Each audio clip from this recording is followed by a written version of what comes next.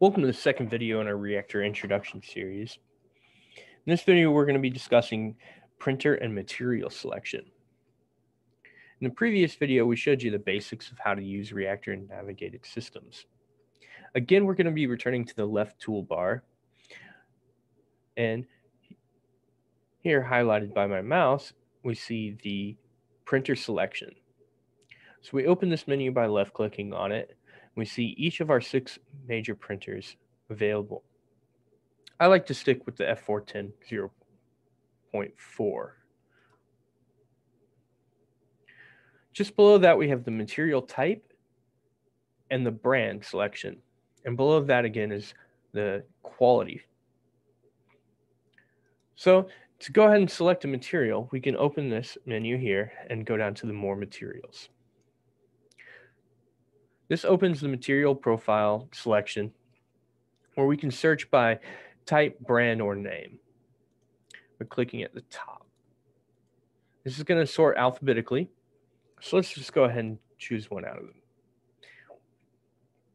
To add it to our menu, we're going to select the PLA and check the checkbox. So let's get another PLA. We'll do filaments.ca and let's get an ABS. Do FlashForge. To close this, we're going to click Save.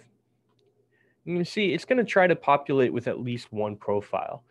Well, we want to go ahead and select PLA. So we're going to reopen the menu, select PLA, and now we see that Amazon and filaments.ca PLAs are available. So we're going to select one. We'll go down here and select default.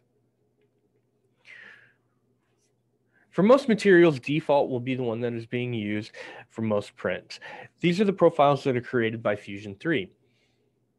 If we would create our own pro profile, we would open the printer settings menu, clicking on the gear icon. This is going to open the settings menu, and we'll get into this deeper into a later video. So go ahead and close that. And that's the basics of just how to select your printer and to select your material type. You may have noticed that under the brand selection, we also have the more materials here as well. You can click either through the material selection or the brand selection. That's going to open the same menu either way. That's going to wrap up this video.